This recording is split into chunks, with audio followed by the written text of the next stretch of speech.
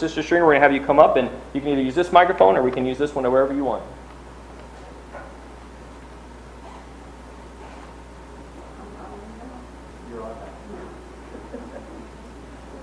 You gotta get me straightened out. Hello. Everybody excited about Bible school? I am. Oh boy, I'm looking forward to this. And we're gonna have a good time, but you some of you might have seen on the screen a while ago, the theme is God has a plan.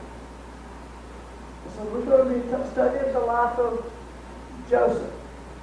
But before we get to Joseph, we've got to get to Jacob. But let me ask you a question. How many of you said, boy, I sure wish I had been born in the, that family over there? You wish you'd been born, yeah, me too, you know, I was, I was, who's here is eight years old right now? Well, when I was eight years old, my daddy died, and I wanted a daddy. And I would look at these kids over here that have a daddy, and I think, I wish I was in that family. Because if I was in that family, I don't have a daddy. Or maybe, you know, you don't have a daddy, or maybe you, you know, problem. You said, I wish I was in another family. Or maybe you said, oh, that kid over there, and he's had a bicycle, and I would never had a bicycle. My parents don't have money to buy me a bicycle. If I was a member of that family, I'd get me a bicycle. You ever thought of stuff like that? Yeah, we wish sometimes we were somewhere else. But you know what? Let me read you a verse here. Jeremiah 1, verse 4 and 5. Then the word of the Lord came unto me, saying, This is Jeremiah. He says, Before I formed thee in the belly, I knew thee. Do you believe that before you were ever born, that God knew you? What do you think? I think he knew me before I was even a baby. You're right. Absolutely. Absolutely. And God knew from the very beginning where He wanted you to be. He knew from the very beginning which family He wanted you to be in. He knew at the very beginning whether He wanted you to have a bicycle or not. He knew very in the very beginning whether you would have a daddy or not, or a mama or not. From the very beginning, He knew that. And so all through as we study these lessons all week, we're going to remember that God had a plan. Did you know He had a plan for you from the very beginning? Of course. Before you were born, He had a plan for you. Before you were ever even thought about. God had a plan for you. If you can always remember that, it'll make life a lot easier. If you say, boy, I wish I was over there and he got a bicycle because God had a plan for you. And so that's what we're going to talk about this week in Bible school. But first of all, you know, Joseph, we're going to talk about Joseph. We've got to start all the way back before he was born, don't we? If God had a plan for him before he was ever born, we're going to start back all the way back there. So we're going to start back with Jacob. Jacob was a young man, and uh, he decided it's time for me to get married. So he wanted to know why. So he went way off to where he had, where all his relatives and things lived because he didn't want to marry somebody outside his own group. He wanted to go back. And he went back, and uh, he met this man named Laban, who was one of his relatives, but he didn't know him before then. But he met him, and uh, he was looking for a beautiful wife. And you know, he looked up there and he saw the most beautiful girl he had ever seen. Rachel, would you come up here? He met this beautiful girl, and her name was Rachel. And he looked at her and he thought, that, I want that one. That's the one I want. Have you ever seen anybody more beautiful than this? And oh, and Jacob, he took a look at her and said, I've got to have this one. No matter what, I've got to have this one. I him, and he fell head over heels in love. First time he saw her, he wanted to marry her. She liked him too. Yeah, she thought he, she thought he was pretty cute too. And so he goes to Laban, her father, and he says, I want this girl. I'm in love with this one. I will live with this one the rest of my life, and the sooner the better. Just let me marry you. You know what Laban says? He said, well, if you'll work for me for seven years, and you can have her. Seven years. And old Jacob says, I want her so bad, I'll do it. I'll work seven years. And it seemed like it was just days. Because he, every day he'd go out into the fields, he'd go guard the sheep, he'd do his work. In his mind, he was thinking of Rachel. He's going to get Rachel. He could hardly wait. He'd go to bed at night, he would dream about Rachel. Oh, I'm going to be a beautiful wife. I mean, seven years, the seven years gets finished, I'm going to get my beautiful wife. And he could hardly wait, and he finished his seven years. You're going to go wait for your room. Okay. So everything is getting all ready. Getting all ready. He's going to get Rachel. You think he was excited? I think he was really excited. He's going to get Rachel. He wanted Rachel. And he just, oh boy, I'm going to get Rachel.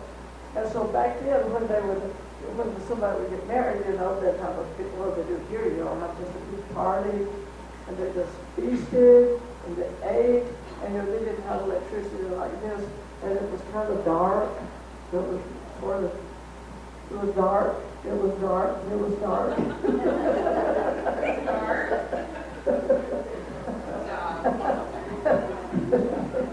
and they, they really couldn't see very well. And two over there, you know, here, you know, you ever been to a wedding? And you, I don't know if you're going to talk, but you know, if somebody's going to get married here, that bride goes off in there and puts on that beautiful white dress. And that man that's going to marry her, he doesn't get to see that dress until she walks down the aisle. Know, oh, there's my beautiful bride, in this beautiful dress. And he's so excited, oh, she's so beautiful. But what they did back then over there, she had to wear a veil over her head. And so they were partying, they were feasting, and they're getting all ready, and Jacob is all ready for Rachel. And then Rachel comes in with a veil over her head. And he looks at me, there's my Rachel.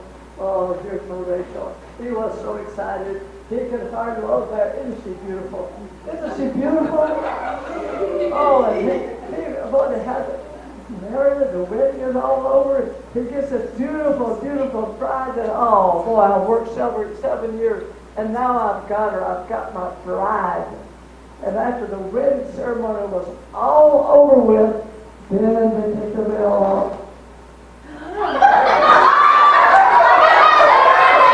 It was not Rachel. It was Leah. And Leah is Rachel's sister. And she was ugly. She's so ugly. And he looked at me and said, what have you they done to me? They tricked me. He tricked me. And I married the wrong. I married- and he got ugly, ugly. Leah, have you ever seen anybody any uglier than that? Oh, shit. Jacob said, oh, he was angry. What have you done to me? What have you done to me? Because he's married the ugly sister.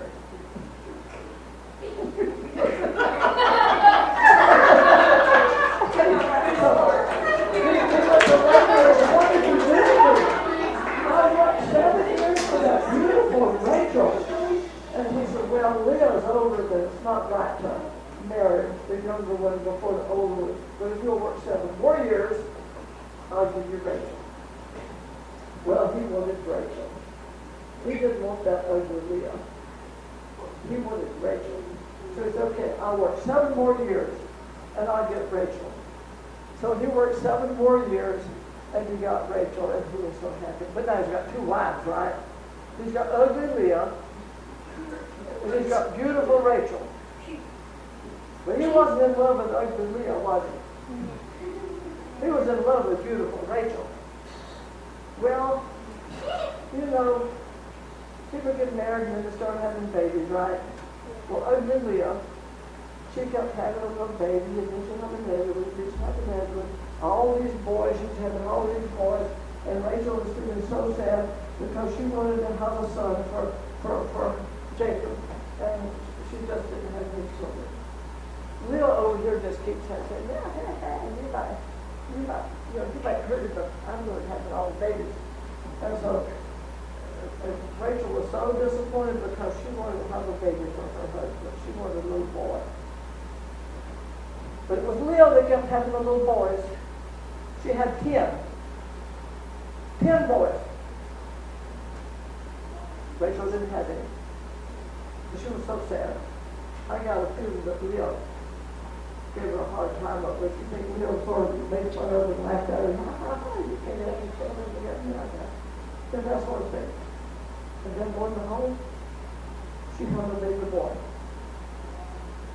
She was so happy. Finally, she's had a little boy. And Jacob was so happy. He was so happy because he got a little boy by Rachel. And he loved him. And what do you think he named him? He named him Joseph. And he loved that little boy. You know, and then a little bit later, Rachel had another little boy named Benjamin. But then Rachel died. But Jacob was so happy because he's got two boys, two little boys by Rachel. And he had little Joseph, and he loved Joseph. All those ten other boys, no. Just one that was Jacob, was Joseph. He loved Joseph. And I think he petted him. You think he petted him? Well, the Bible says that he loved him more than all the other ten. You think that was right? Yeah. Who said yeah?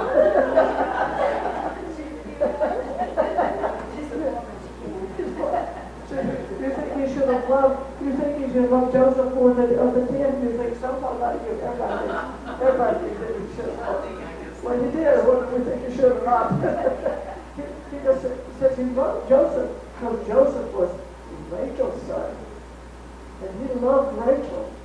And he was glad that he got a little boy by Rachel, and he was loving Joseph.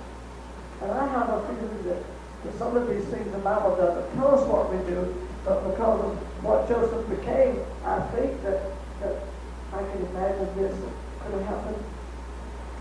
Don't you think Joseph just put him on his knee, he petted him, he taught him, he would teach him, gave him all of the attention. The other ten, nobody, no. But this one little boy, he loved him, he petted him, and he taught him, set him on his knee and teach him, because he was so much in love with that little Jacob, little Joseph. Remember, boys and girls, we've got to start right now from the very beginning. Before Joseph was ever born, God had a plan, right?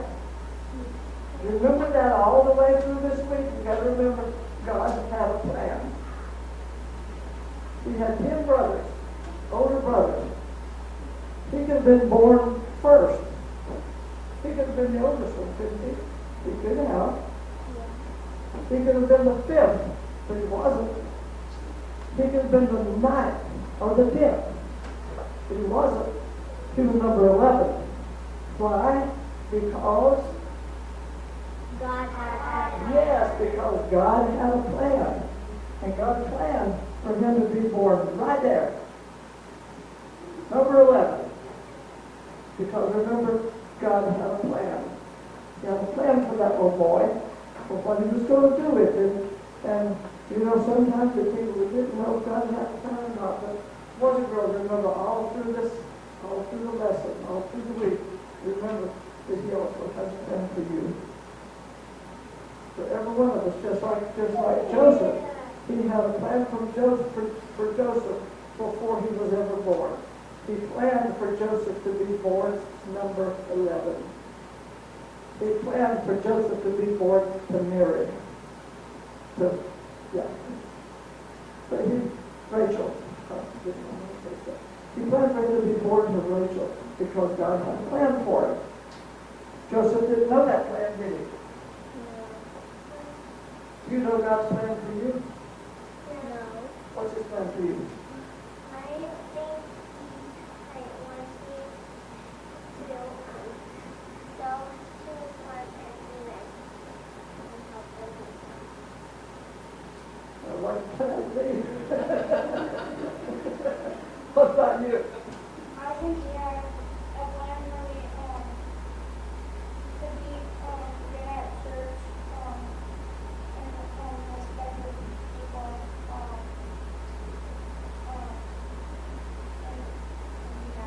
Absolutely, that, that's very good.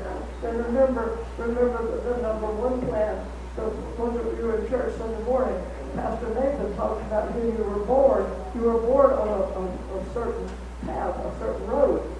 If you were there Sunday morning, you were born on on a, on a road that is a bad road. You don't get to heaven on that road. And so when you were born, so the first thing you have to do is you go to be in God's plan, you have to get saved, don't you? Because you can't be, that's his first plan for you, for everybody. He wants everybody to get over that plan. And when you get saved, then he can show you what the rest of it. But he doesn't sometimes show us what his plan is. You and Joseph, and even Jacob, Joseph's father, he didn't know that God had a special plan for Joseph. He didn't tell him. God had a plan. So that plan all worked out. And as we develop the story, as we go this week, we're going to see where it doesn't seem like it's a very good plan to me. It just didn't look like it was a very good plan. But you remember all the way that God had a plan that he didn't show it until a long time later, but God had a plan. And so tomorrow night we're going to expand more on this story.